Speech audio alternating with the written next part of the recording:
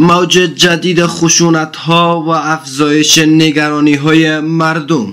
به گزارش از رادیو سیمای صلح شهروندان سمنگان حملات مسلحانه و راکتی طالبان پس از امضای توافقنامه صلح میان آمریکا و طالبان را نکوهش می کنند شهروندان سمنگان با تأسف می‌گویند طالبان خواستاری هستند که باید صلح صورت بگیرد با افغانان با امریکایی ها با امریکایی ها وقتی که صلح کردن یا با, با اون پیمانی که بستن با اون پیمان استاد نشدن و باز عملات وحشیانه خود را انجام دادن در مقابل نیروهای مرد نیروهای ما. هم هموطنان ما را از بین می‌برن و هم نیروهای ما را از بین می‌برن و هم خواستاری هستن که 5000 طالب باید رها شود. با کدام گزینه با کدام دلیل رها شود؟ در صورتی که یا توافقی که با با امریکا کردن یا توافقشان استاد نبودن باز عملات وحشیانهشان انجام دادن. سربازای عزیز ما را که جان شیرینشان را به خاطر مردم از از جسم تنوار باز از بین بردن.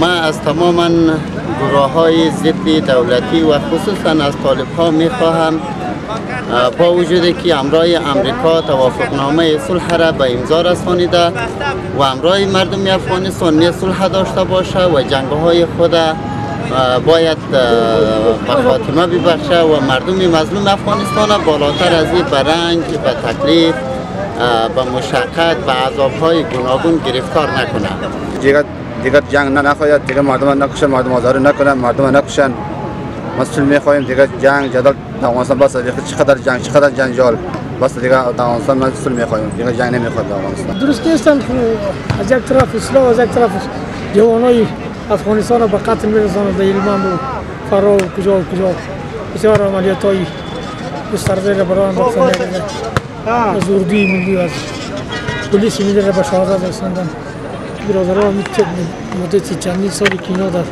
در رأس هستند افغانستان و جوانای افغانستان هم را به قتل رساند فرار شد مهاجر شد.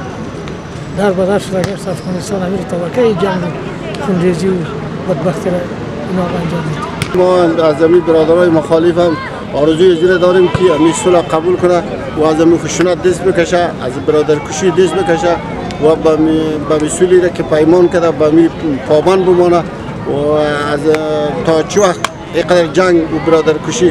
از اون برا خواهش برادرانی ما از اون برادرای مخالفی مسلح. دولت هم همیست که از خشونت دست بکشه به به با برادرای خود به میز مذاکره بشه. این در حالی است که گروه طالبان گفته است جهاد این گروه علیه نیروهای امنیتی و دفاعی افغان ادامه دارد. سیمای صلح صدای نسل جوان. 89 اشاریه هفت.